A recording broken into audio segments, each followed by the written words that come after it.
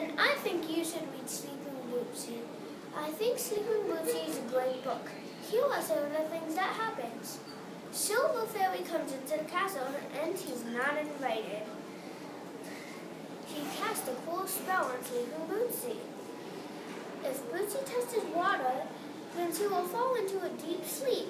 The only way she will wake up is if she hears her happiest sound. Will Bootsy wake up if she touches water? I think you should I think you should find this book in the library.